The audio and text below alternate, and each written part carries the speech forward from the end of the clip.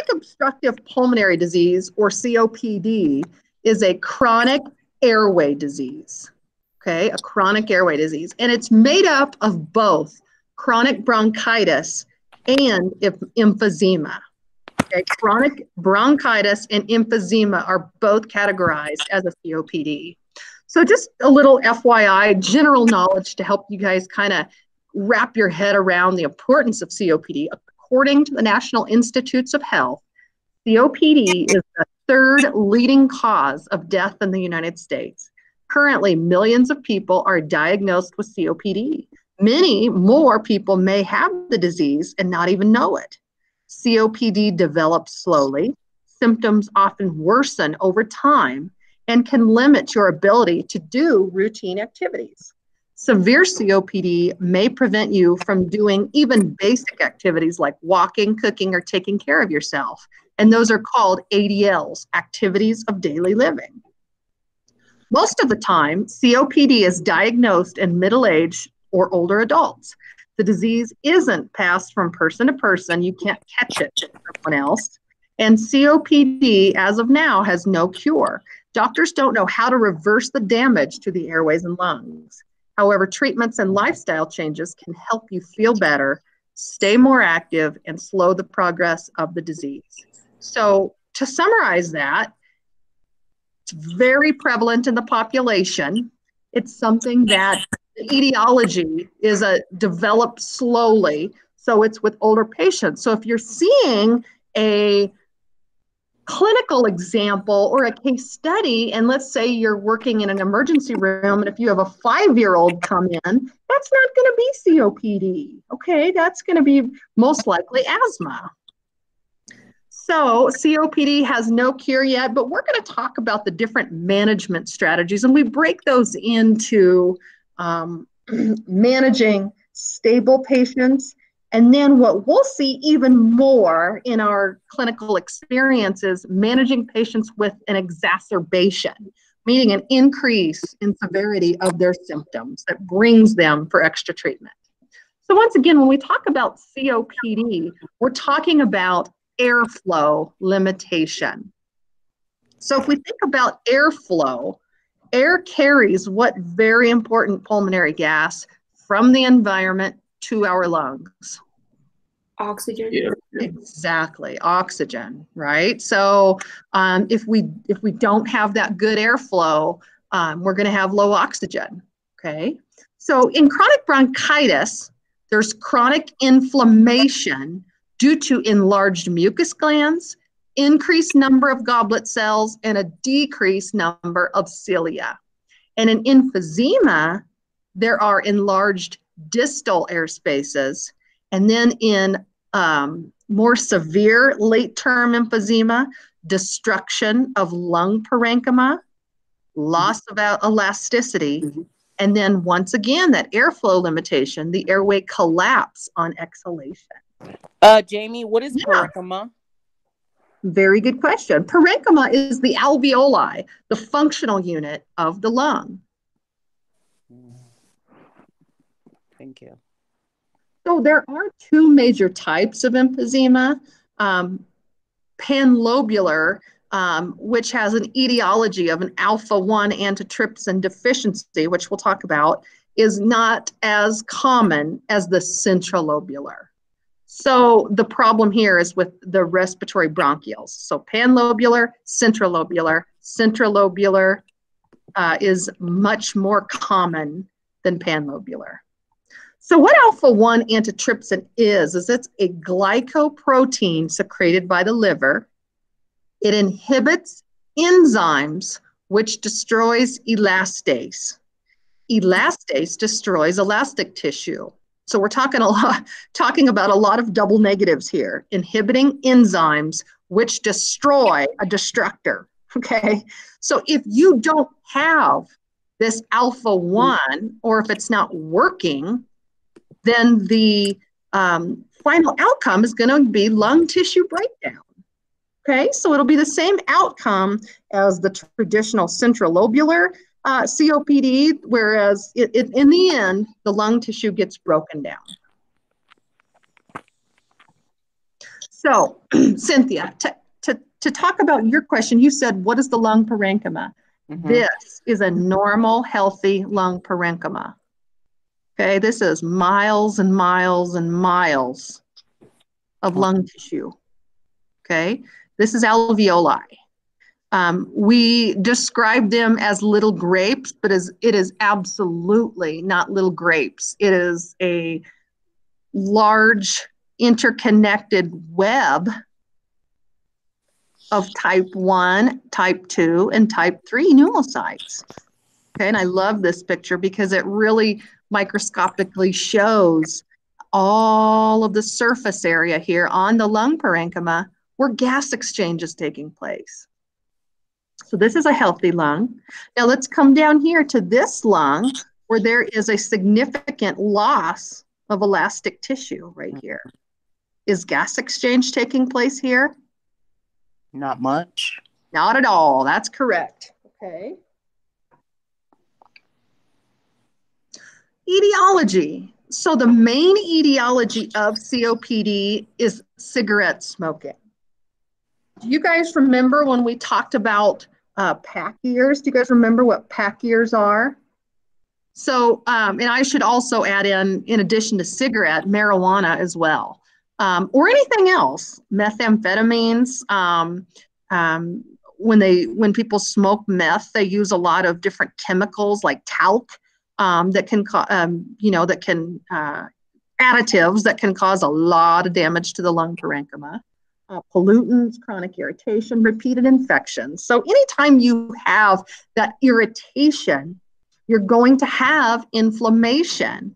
You're going to have that bronchoconstriction from that extra inflammation and mucus production. So you're going to have that airflow limitation. Okay, diagnosis of COPD history. So we just talked about smoking pack years.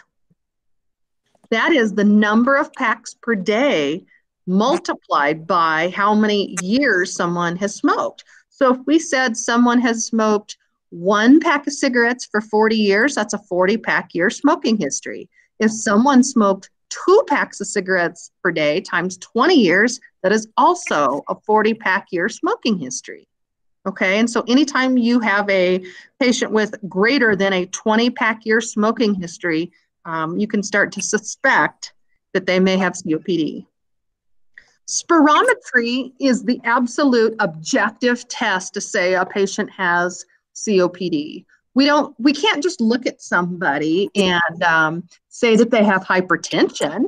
We have to check their blood pressure. We have to measure their blood pressure, right? Well, same thing with COPD. We have to we have to perform the spirometry um, and we have to look at these numbers. So in general, um, the FVC and the FEV1, one or both, have to be less than 80%. But the most most distinctive distinctive uh, uh, variable here is your FEV1 over your forced vital capacity needs to be less than 70%. Okay, so FVC, FEV1, and then your FEV1 percentage under 70%. Now, DLCO is the third major portion of a full pulmonary function exam. And your DLCO is the diffusion capacity of carbon monoxide um, across the alveolar capillary membrane. So that's what it's measuring is diffusion. So in addition to spirometry, if somebody got a full PFT uh, in the body box, um, they could get their DLCO um, measured. And if that is less than 80%, that is a good indication of emphysema as compared to chronic bronchitis. Can anybody thinking about the pathophysiology, the structural changes COPD, why would it most likely be emphysema and not chronic bronchitis? It would be because in emphysema, um, the surface areas decreased because of the Yep. destroyed parenchyma. Absolutely. You're exactly correct. When you when you take away, so let's go back here, right there. When when you you're supposed to have this, but when you have this, there's not going to be that surface area. So of course, there's not going to be as much diffusion happening. So very good. Okay. Anybody remember what type of epithelial cells these are? The pseudostratified ciliated columnar epithelium. Excellent. Pseudostratified ciliated columnar, and they have the cilia on there. And what does that do? That helps with our mucociliary, mucociliary escalator to remove the pathogens from our tracheobronchial tree into our oropharynx, where we either number one, swallow them and our stomach acid takes care of the pathogens, or we can cough them out. Okay. You guys remember what this type of um, uh, epithelium is? Like simple squamous? Simple squamous. Yes, it sure is. Very good. Now, this is a great picture. This is a bronchoscopic view. Based on what we learned last semester, somebody tell me what we're looking at. So this is taking a scope and going down someone's tracheobronchial tree. This is showing the right, the, the main stem bronchi branching off to the left and right, going Exactly, Yeah. exactly. the two lobes and then the three lobes. You could see it going. Perfect. So Emily, which one is, uh, which one is this one? Right or left? That is the right. Excellent. And this one is the left. And you knew that because of the lobes. The lobes. Yes. Yeah, you could just see it. Just That's great. There's three lobes on the right, two on the left. What do you guys think's going down this way? The esophagus. Yes, it sure is. Gosh, you guys are on it. Good job, you guys.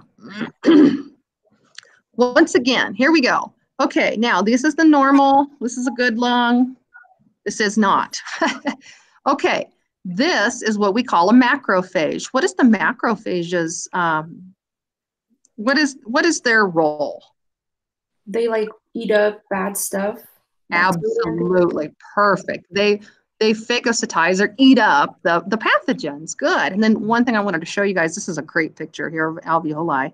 These are little things called pores of Kohn, and that allows for um, collateral uh, airflow or ventilation to go through all the different um, alveoli. So once again, it's not it's not grapes. It's this interconnected web of lung parenchyma where gas exchange takes place. And then down here, we're looking at a macrophage eating a pathogen. Good. Three primary symptoms of COPD dyspnea, cough, and sputum production. Can somebody remind me what dyspnea is? Shortness of breath. Good. Is that you measuring that or the patient stating they're short of breath? They're stating that. Yeah. Absolutely. Excellent. It's a subjective statement from a patient saying, hey, I'm having a hard time breathing. Okay. And then cough and sputum production. Other symptoms, and I had a great question this morning. It was like, how am I going to keep track of these symptoms? Well, for one, repetition. Two, think about the structural changes that happen and the resulting clinical manifestations that result from those anatomic changes. So secondary symptoms we might see are hepatosplenomegaly. So our liver and our spleen getting enlarged, as well as pedal edema. Well, that comes from extra fluid being built up, and we'll talk a little bit more about that. Accessory muscle use, that's due to increased work of breathing. Our diaphragm and our intercostals are our main muscles of ventilation, but when there's some sort of pathophysiology um, that's, say, blocking our airway, we need those um, accessory muscles to help uh, get the airflow in that we need. Cyanosis, okay, that's um, a patient turning a bluish color, and that is due to hypoxia. And then, of course, wheezing from bronchospasm and mucus. So, wheezing um, is the clinical manifestation from the anatomic alteration of a narrowed diameter or airflow limitation in tracheobronchial. So just like we would measure blood pressure, vital signs, spirometry, actually um, measure the patient's dyspnea. So um, we the the main um, dyspnea scale, and there are many, but the main dyspnea scale that's uh, kind of the most popular one right now, according to GOLD guidelines, is the MMRC, the Modified Medical Research Council Dyspnea Scale. So grade zero means I only become breathless with strenuous exercise. Gee, that sounds familiar. I'm the same way, huh? Number one, so the so the patient gets a score of zero. Number one, I become short of breath when hurrying on the level or walking up a slight hill. So walking on a flat surface uh, when I'm hurrying or going up a hill. Well, shoot, I'm there as well. So that's because I'm not in the best shape. Number two, I walk slower than most people the same age on the level because of breathlessness, or I have to stop for breath when walking at my own pace on the level on a flat surface. That's getting a little bad now. I stop for breath after walking 100 meters or after a few minutes on the level. Or number four, I am too breathless to leave the house or breathless when dressing or undressing. So we, we keep track of the patient's dyspnea, one, because it kind of tells us the progression of the disease and how it affects the patient's ADLs, activities of daily living. And then two, say if they get a management or a therapeutic, uh, it's a it's a good way to kind of test and see if it's working. Spirometry classification. Now I'm going to please ask you to memorize this. So I would recommend you um, I would recommend you making a note card or whatnot uh, for the spirometry classification. So we have stage one through four.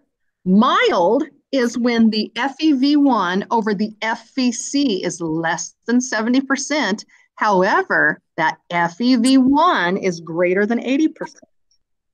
Stage two moderate is when that ratio is less than 70%, but the FEV1 is 50 to 80%.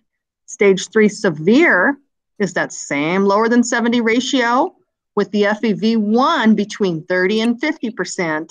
And then stage four, very severe, is when that FEV1 is less than 30%. Okay, so that's a that's a that's how we stage the stages and severity of COPD. This I'm going to talk uh, about, but I don't need you to memorize this one. So this is something called the Bode Index, and you will see as healthcare expands and we have more patients, fewer therapists and physicians, a lot of things are protocolized and um, driven with um, guidelines. Okay, so this is one that we can objectively measure different clinical manifestations and, and diagnostic data that we take from the patient um, to kind of help uh, categorize them as well. So the FEV1 percentage we already talked about. Um, the the lower that is, the higher the score. The higher the score, the more severe the illness is. The six minute walk test is something um, we're going to try and do next week. It's a lot of fun. It's when the it's when the respiratory therapist um, makes the has the patient with COPD in an outpatient setting um, walk a little course and then measure how many meters they can walk in that six minutes. Okay, so uh, greater than 350 meters is zero, less than 149 meters, it would be a more severe level three. And then that dyspnea scale, we've talked about the dyspnea scale. So the more dyspneic they are, the higher uh, a number is um, given to them for their Bode index. And then finally, this might be something opposite to what you're thinking about. If a patient has a BMI, a body mass index greater than 21, they get a zero. But if it's less than 21, they get a one. So why do you think that, you know, generally we learn, you know, the, the greater the, the BMI, the more disease might that might happen. But here it's opposite. Can anybody kind of postulate why this might be the case? Isn't it because you would calculate tidal volume based on their mass? No, I'm afraid not. It's it's doesn't have anything to do with tidal volume. We're looking at we're looking at outcomes of mortality, how severe the disease is, patient outcomes.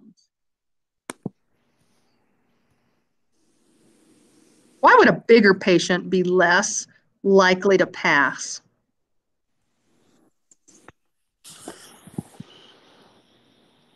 I guess because their breathing is restrictive? Uh, it's obstructive. Okay, let me let me talk to you guys about this. Where do your calories go? Do you guys have to spend your calories breathing? No. Nope. Okay, no. However, if you are always using your accessory muscles to breathe, a lot of your energy and a lot of the, your, your work of breathing or energy will go towards breathing, will, will uh, take away body mass. So if you're working really hard to breathe, you're, you're going to have a smaller body habitus. Does that make sense? Because you're burning calories using all those muscles. Exactly. Yep. Okay. More clinical manifestations looking at imaging. So imaging is our chest x-rays, CAT scan, MRIs. Uh, we're, we're thinking about hyperinflation, okay? We're thinking about hyperinflation leading to a flattened diaphragm, perhaps cardiomegaly in chronic bronchitis, and which we'll talk about. And then an increased anterior to posterior diameter, and we call that barrel chest. Okay, so we would generally have a greater transverse di diameter, but when we have severe air trapping, it really changes the shape of our thoracic cavity into what we would call a barrel chest. Patients will experience chronic hypoxia, and due to that, as a result, patients will uh, be polycythemic. Do you guys remember what polycythemic is? They have more red blood cells. Absolutely. It's the opposite anemia. They will produce more red blood cells to compensate and try to carry more oxygen. Well, that will uh, uh, create cor pulmonale from an increased red blood cell, blood viscosity, and then as a result, an increase in pulmonary vascular resistance. Okay, we just talked about accessory muscles of ventilation. Once again, the diaphragm and the intercostals are what we use to take a normal breath. Well, if we have, say, COPD with airflow limitation, we might use our transverse abdominis, our internal intercostals, rectus abdominis, and then our external and internal obliques. And those are all down around um, our, our lower portion of our uh, thoracic cavity and in our abdominal muscles because we, we, we can get that breath in, but then we're trying to really squeeze that out. And think about if you're squeezing, trying to squeeze out toothpaste, you start at the bottom and move up, right? So kind of the same thing. Now, if you were having a problem on inhalation, inspiratory, you would see more scalene, trapezius, external intercostals, pectoralis, and the sternocleidomastoid, which are um, more of our um, upper back and neck muscles. Okay, so let's talk about cor pulmonale. Let's say your patient has chronic bronchitis. In the patient with chronic bronchitis, they are going to experience, due to all of that mucus buildup, and then they're going to have a they're going to have a hard time with diffusion. So they're going to experience hypoxemia. Well, hypoxemia is then going to lead to pulmonary vasoconstriction. So a constriction around all of the vessels in the pulmonary vasculature. And that's supposed to be a um, an adaptive uh, physiology trait so that not a lot of air and, and blood flow will go to those areas of the lungs that are that are not um, having gas exchange. So it's supposed to be a good thing. However, that'll increase our pulmonary artery pressure, will then increase the workload of our right heart and blood then will back up and go into our jugular vein so jvd jugular venous distension hepatosplenomegaly extra fluid in our liver and our spleen and pedal edema which pedal edema is the fluid that accumulates in the dependent areas so down in our lower extremities Okay, so so patients with chronic bronchitis tend to experience more cor pulmonale. And so on chest x-ray, they would have a larger heart, the cardiomegaly. Patients with emphysema tend to not have this, and they'll just have more of a teardrop shaped heart. And we, we'll, we'll talk more about that. But think of cor pulmonale, chronic bronchitis. here is a lovely picture of a what we call a bullae or a bleb, and that's just a piece of um, a piece of lung tissue, a piece of our lung parenchyma that's filled with air, and it's not participating in gas exchange. Okay, and then this one, of course, is a um, after an autopsy, so it's a um, an emphysema lung um, that also is enlarged and has um, color just you know it's discolored most likely from smoking or irritants or something and it's just it's just big okay it's just a really big lung It looks dead. it's definitely dead Okay. yeah and then here's another picture of just um, the alveoli or the lung parenchyma that's just lost a lot of elastic tissue. More pictures of that. And then this is a good um, image of uh, a, um, a chest x-ray where the retrosternal space is enlarged as the lungs meet in front of the heart. So retrosternal, behind the sternum, okay? So right here, you can see all of this, this retrosternal airspace. So this is um, pushing on the heart and compressing it, um, and even kind of pushing it over to the side as well.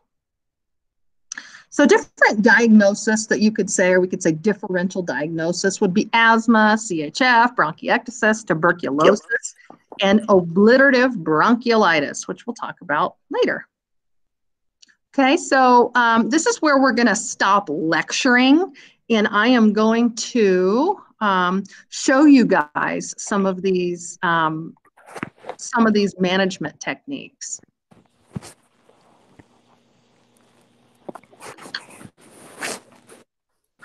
So as I said before, um, we talk about management strategies as with stable and COPD exacerbations, okay? So I have here a lot of examples of medications that patients with uh, COPD will be prescribed and given. So this first one here is albuterol. And albuterol is what we call a SABA, okay? A short-acting beta agonist, okay? So it goes to the receptors and tells the um, beta 2 cells to um, cause bronchodilation, open up. Okay, so here we would shake up our pressurized meter dose inhaler where a propellant and a medication mix together. We would shake this up really good. We would squirt it, the medication, into the spacer, and then we would take a big inhalation and hold for about 10 seconds to really allow that medication to go into the lungs and work its magic and the airways as well. So um, a good question I had this morning was, well, why do we have to use one of these spacers? Well, the reason why is once again, there is a propellant with a medication and you want those to mix to be effective. And if you put that right up to your mouth, a lot of that, it's just those, those little microscopic um, uh, medication pieces are just going to go right onto your tongue and won't get down and, and deposit uh, where they're supposed to.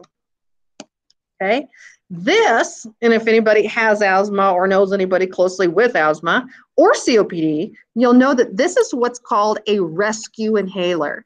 Patients, and the more severe they are, need to have this with them all the time. Okay, this is their rescue inhaler. When they start feeling really short of breath, they need to take this. It's going to work right away, but it's not going to last that long. Okay, so the effect is not going to last very long. And so, therefore, a patient may need to be on a maintenance medication. And there's three types of major maintenance medications. and there's there's a lot of them, but there's only three major types.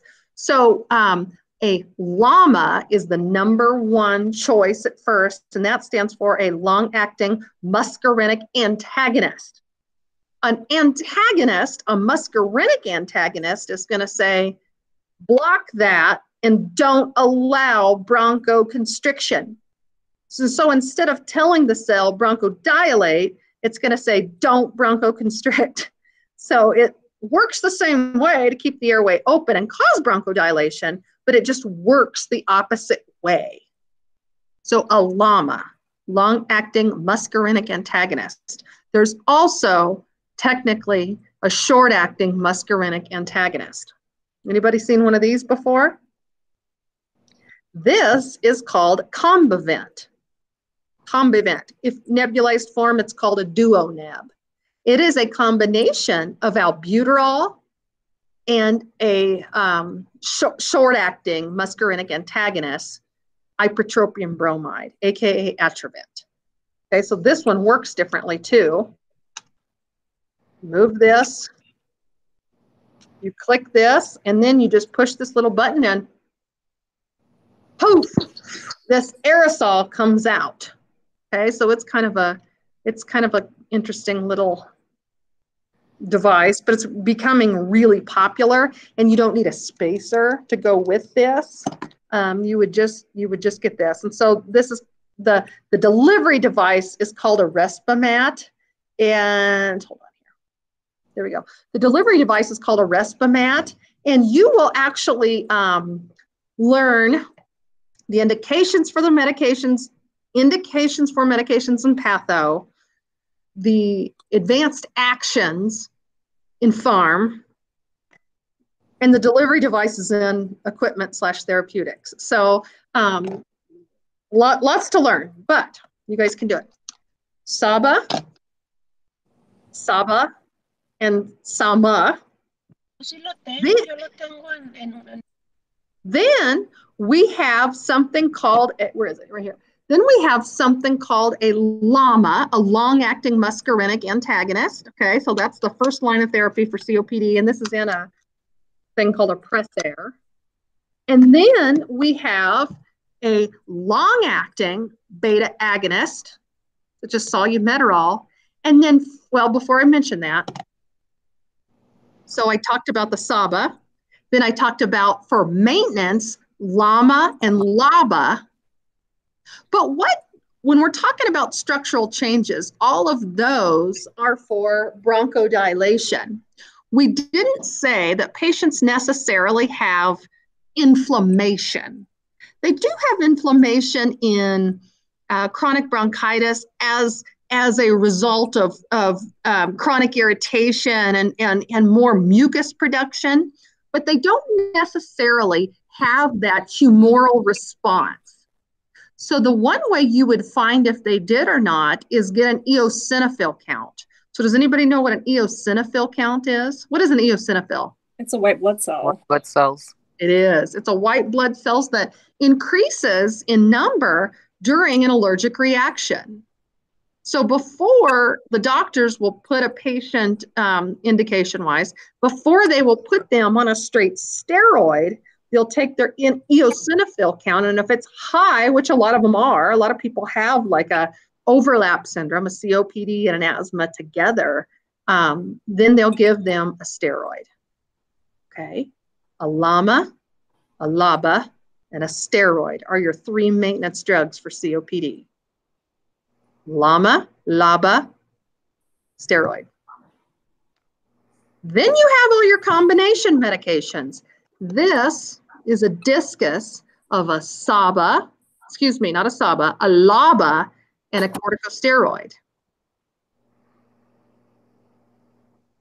This one is a, God, I can't even see, I'm getting old, a LAMA and a corticosteroid. It's a Symbicort, okay? So there's lots of different types. Now, has anybody been watching TV and they hear something and they say, if you have COPD, you could get something called Trelegy. And then they have a somebody singing um, uh, Trelegy. It's easy as one, two, three. Uh-huh.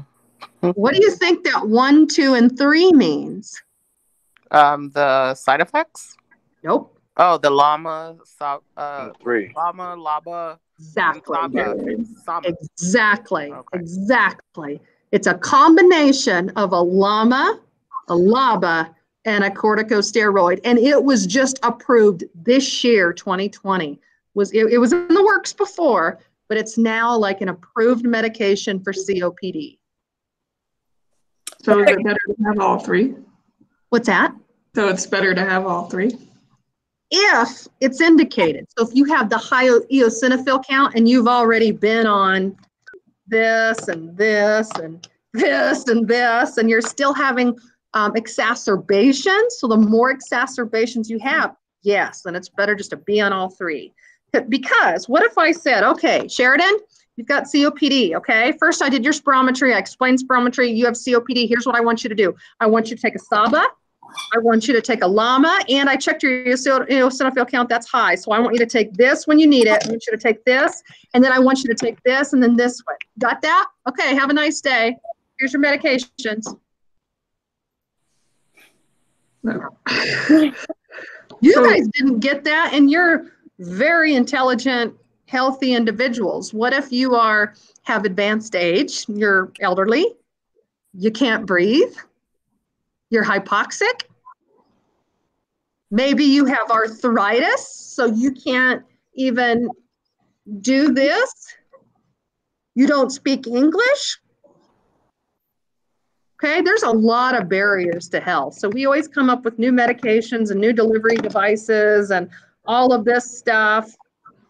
So patient, my, my point to all of that is, is spending time and educating the patient. This is where you are beyond helpful, okay? Um, a lot of hospitals, if you work in a bigger hospital, they'll have respiratory therapists as care coordinators for COPD. So they'll go in and and you know talk with the patients, do education, make sure they understand. Um, same same with like asthma. So um, uh, something I always uh, had was my AEC, my certified asthma educator. And um, but even if you don't have that, you, you go in the hospital and you you come you do um, a formal asthma education. You do it early and you do it multiple times, so that the patients don't just get it one time and say, "Oh, you know how to use it, right?" Well, they might say, "Yeah," because they're overwhelmed and they want you out of your, their room. But um, you know, and then and then really really getting to the bottom of it and making sure they understand when to give the meds, how, when it's indicated, what are contraindications. That's a lot. Okay, now, another thing with all phases of and severities of asthma, excuse me, of COPD, two other things, well, there's, there's more, but um, reducing risks, so lifestyle changes. Of course, smoking cessation is huge, okay? Um, so, you know, five steps of, of smoking cessation, we'll, we'll talk about a little bit more next, um, next week. That is very important, as well as both your annual flu vaccine. I haven't even mentioned COVID. Your annual flu vaccine, and as well your pneumococcal. Has anybody heard of pneumococcal? Mhm. Yeah. So pneumococcal pneumonia is the number one type of community acquired pneumonia.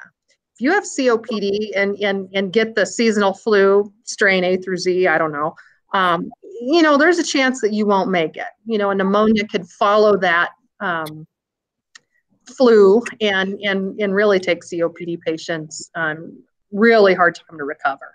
Same with pneumococcal, community acquired pneumo- community acquired pneumonias, and that's an encapsulated bacteria that's very difficult for your, your immune system to fight. So, getting those two vaccines are very important. Smoking cessation, everybody having their rescue inhaler, and then maintenance medications. Now, look around the lab. There is something that you may be seeing, may not be seeing, but there's one medication that is the only medication to reduce mortality in COPD. Oxygen. Oxygen. Yes, ma'am. Very good. So oxygen. Okay, so when patients are hypoxic, uh, they'll need to be on oxygen. When they come visit you in the emergency room or on the general care floors or the ICU, you might use something here called the heated high flow nasal cannula. Okay, so this is a nasal cannula. It fits in right here. No, I'm not putting it up my nose, so you can touch it when you come back to the lab next week. Um, if you notice, it has a much larger bore tubing. Got a circuit, and it's connected right here to a heater and a humidifier. It has here two types of flow meters, a low flow and a high flow. The standard flow for this is 60 liters per minute. 60 liters per minute. And then you can blend the oxygens, meaning you can change the FiO2. So you could give this with 21%. So just room air, but they might need it for the flow. But most likely they're going to need, um, you know, an FI extra supplemental oxygen above 21% to be therapeutic. Now, if the patient's hypoxic, they could try this and they have increased work of breathing, try this. What if, what if they have an accompanying high PaCO2 level? What might you need to put them on at that point? BiPAP. Yay, very good. So this is our brand spanking new. I just put it together on um, uh, Wednesday, our new BiPAP machine and it can um, do both. It can do CPAP, BiPAP, something called AVAPS, which is BiPAP with a volume guarantee, and it can also do heated high flow nasal cannula. Now, I don't know how to work that yet, so I need some help, but um, I'll, I'll, get the help to show you guys. Um, but yeah, if they have a uh, high CO2 hypercarbia during their COPD exacerbation, they're going to need you to put them on non-invasive ventilation. Who knows at what pH level is this probably not going to work? We need to put a breathing tube in. Does anybody remember that number? Lower than Oh, lower than seven three five. two five. Two five. Sorry, two five. Yeah. Yes, you guys are fantastic. Good job. So yeah, if it's less than 7.25, according to the NBRC hospital, you'll skip non-invasive and just intubate them and ventilate them in an invasive manner.